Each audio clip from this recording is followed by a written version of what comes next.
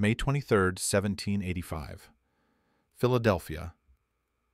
On this day in history, renowned statesman and inventor Benjamin Franklin revealed a remarkable advancement in optical science, a new type of eyeglasses designed to help people see both near and far without switching spectacles. The invention, which Franklin called double spectacles, combined two different lens powers in a single frame, allowing users to read and observe distant objects with ease. Franklin, who had long suffered from both nearsightedness and farsightedness, explained that the innovation came from necessity.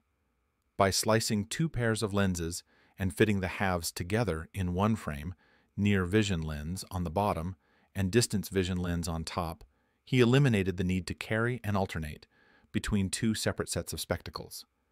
The announcement was met with widespread interest in both scientific and social circles. Many praised Franklin's ability to fuse practicality with ingenuity, once again cementing his reputation as one of the Enlightenment's most prolific minds.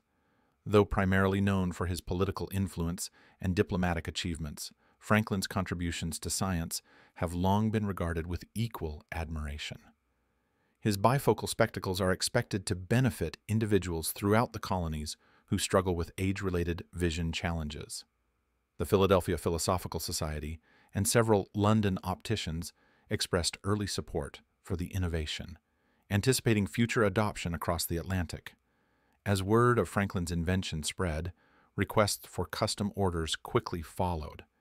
In a letter dated this very week, Franklin wrote, I cannot but be pleased with this little contrivance, which brings clarity to both page and landscape in one glance. With yet another breakthrough added to his storied career, Franklin's bifocals stand as a testament to the power of observation and the belief that human ingenuity can bring the world into sharper focus.